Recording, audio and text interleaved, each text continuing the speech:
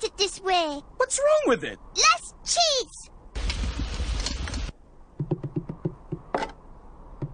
More macaroni. Less macaroni. More cheese. More cheese and macaroni.